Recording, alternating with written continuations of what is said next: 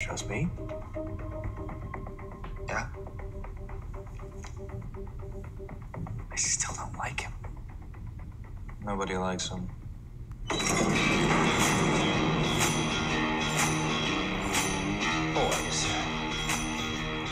FYI, yes, coming back from the dead has left liabilities somewhat impaired, but the hearing still works. So, I hope you're comfortable saying whatever it is that you're feeling straight to my face.